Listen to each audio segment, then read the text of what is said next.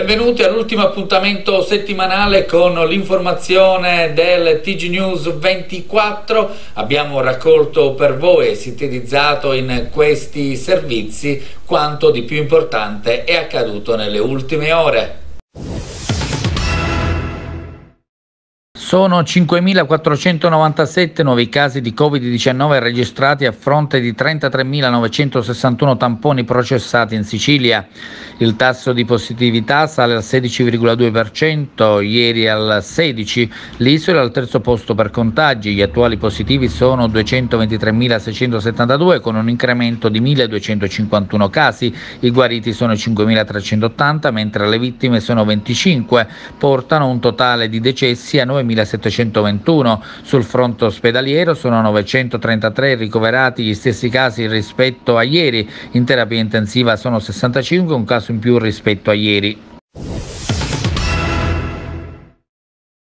Vi avevamo anticipato la notizia qualche giorno fa Ora, grazie ad un appunto stampa della Questura di Trapani, possiamo fornirvi maggiori elementi circa l'arresto da parte della Polizia di Marsala di un giovane che deteneva un chilo e 200 grammi di cocaina.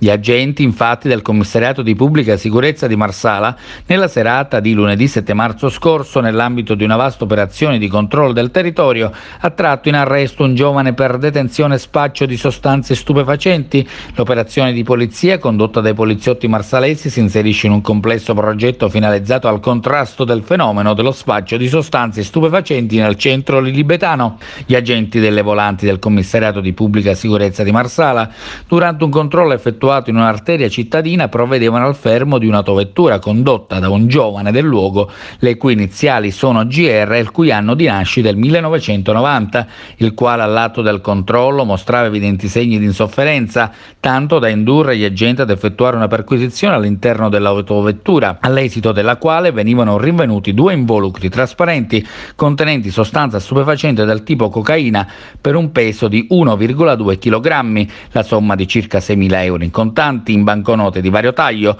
un bilancino di precisione, numerose bustine trasparenti utilizzate per il confezionamento della sostanza stupefacente. Alla luce delle indagini quantitative di cocaina rinvenuta, il giovane veniva tratto in arresto in flagranza del reato di detenzione ai fini di spaccio di sostanza stupefacente e posto in regime di arresti domiciliari in attesa della celebrazione del giudizio di convalida. I carabinieri del nucleo investigativo di Palermo hanno dato esecuzione ad un'ordinanza agli arresti domiciliari nei confronti di Marianna Musotto, 36 anni, musicista palermitana, indagata per istigazione alla corruzione. Il provvedimento è stato emesso dal GIP del Tribunale di Trapani su richiesta della Procura. Musotto è accusata di avere promesso una tangente di 50.000 euro per un evento musicale. Sarebbe stata la somma offerta da un intermediario all'assessore regionale siciliano al turismo Maglio Messina Messina che però non solo ha rifiutato ma ha denunciato tutto e incastrato presunti mandanti e l'intermediaria. Il Museo Lilibeo di Marsala potrà ritornare a far splendere la sua statua di Venere che mancava da circa un anno e mezzo. Il nuovo allestimento, che si è reso necessario a causa del precario stato di conservazione del piano d'appoggio dell'opera, ne migliora sicuramente l'esposizione, valorizzando il guscio che l'architetto Minissi aveva progettato per il museo nel 1986 1996 e che accolse per un breve periodo anche l'Auriga di Mozia. È salita al cielo la signora Giuseppa Pellegrino, mamma del dottor Trapani Giuseppe Salvatore, nostro collaboratore medico di Canale 2. La cerimonia funebre si svolgerà oggi 12 marzo nella chiesa San Giovanni Bosco dei Salesiani a Marsala alle ore 11.30. Canale 2 esprime le proprie sentite condoglianze. Adesso spazio agli spot commerciali.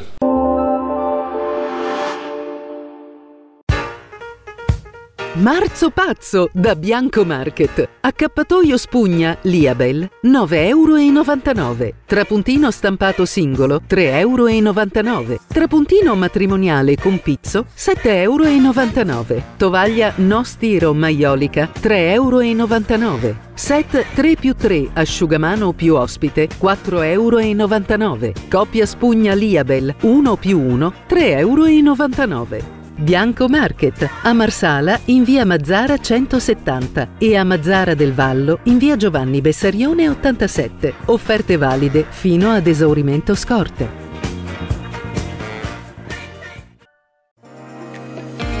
Arreda da Reide Redamenti.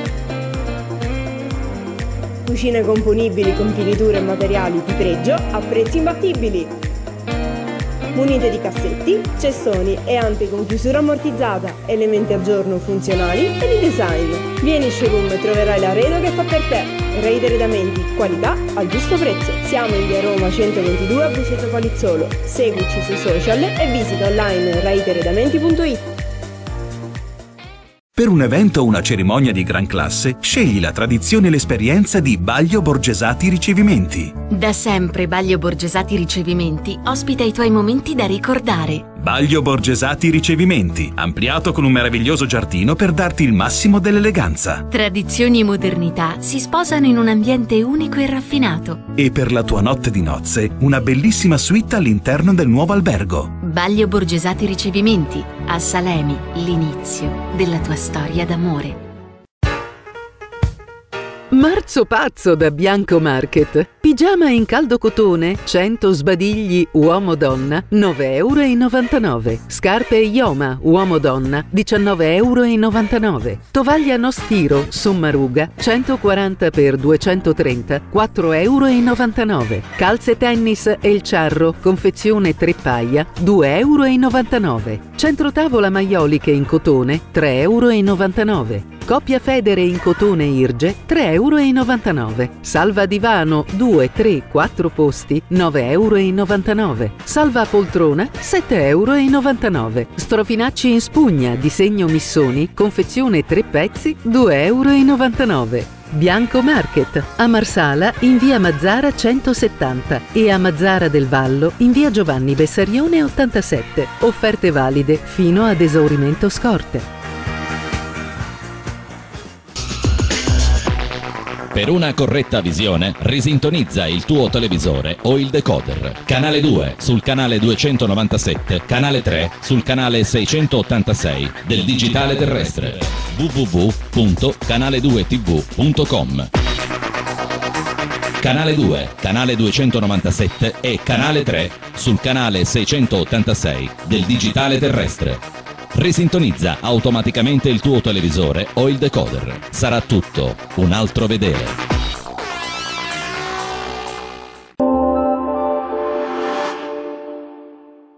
Occupiamoci adesso di sport. Eccovi a voi la pagina sportiva del nostro TG.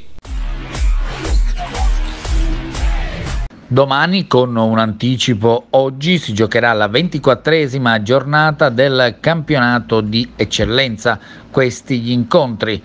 Cus Palermo Acragas alle ore 15 di sabato, poi domenica Castellammare Enna, Casteltermini Sciacca, Don Carlo Misilmeri Parmonval, Mazzara Oratorio San Cire Giorgio, Monreale Nissa Profavara Dolce Onorio Marsala.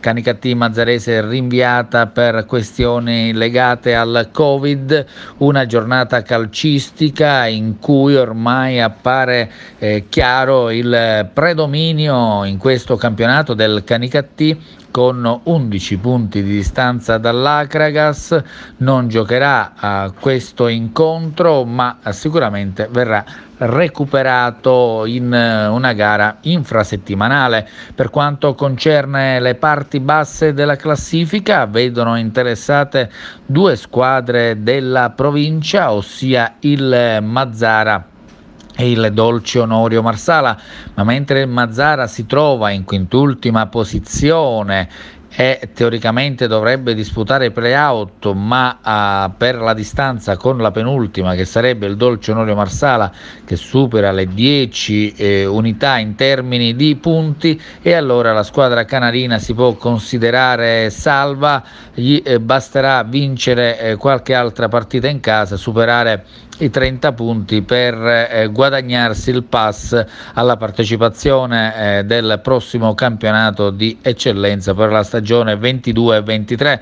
Dolce Onorio Marsala tenuto in corsa salvezza soltanto perché Casteltermini e Monreale non riescono a far di meglio, due società che giocano con tanti giovani che non hanno possibilità economiche. Dolce Onorio Marsala allo sbando, non ha una conduzione tecnica, abbiamo sentito nelle scorse settimane eh, l'ex mister D'Angelo che ha rassegnato le dimissioni perché ha raccontato una serie di situazioni organizzative della uh, società che eh, paragonandola praticamente con tutto rispetto, dice D'Angelo, ad una società di terza categoria, è sicuramente eh, una società organizzata in questo modo, a prescindere dalla penultima posizione in classifica, di certo non può rappresentare la uh, città di Marsala.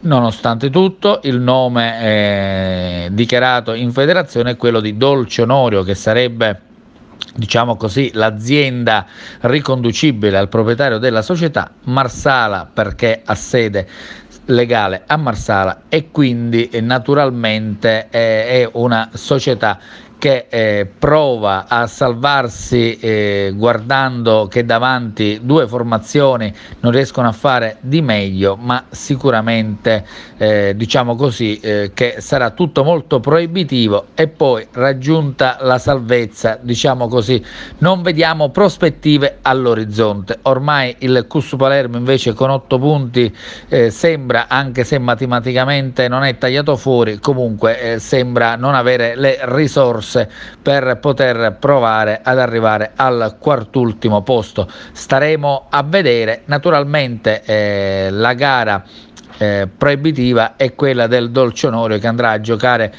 in casa del Profavara, Profavara che eh, vuole guadagnare un posto ai playoff.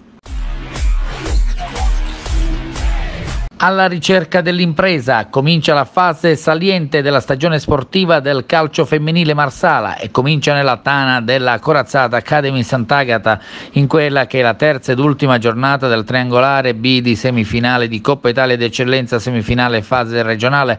Capitan Federica Cucuzza e compagne si andranno a giocare a Sant'Agata di Militello. Le residue chance di accesso alla fase regionale che domenica 20 marzo assegnerà il primo trofeo della stagione. Partita proiettata proibitiva con le azzurre che andranno a giocarsi questa gara e che dovranno obbligatoriamente vincere. In caso di pareggio saranno le padrone di casa a passare il turno. I precedenti stagionali non sorridono alla Libetane che sono state sconfitte in campionato sia all'andata fuori casa che al ritorno fra le mura amiche. Più in generale l'Academy ha vinto tutte le gare stagionali tra campionato e coppa, fatta eccezione per una sola sconfitta in trasferta sul campo del Monreale in campionato.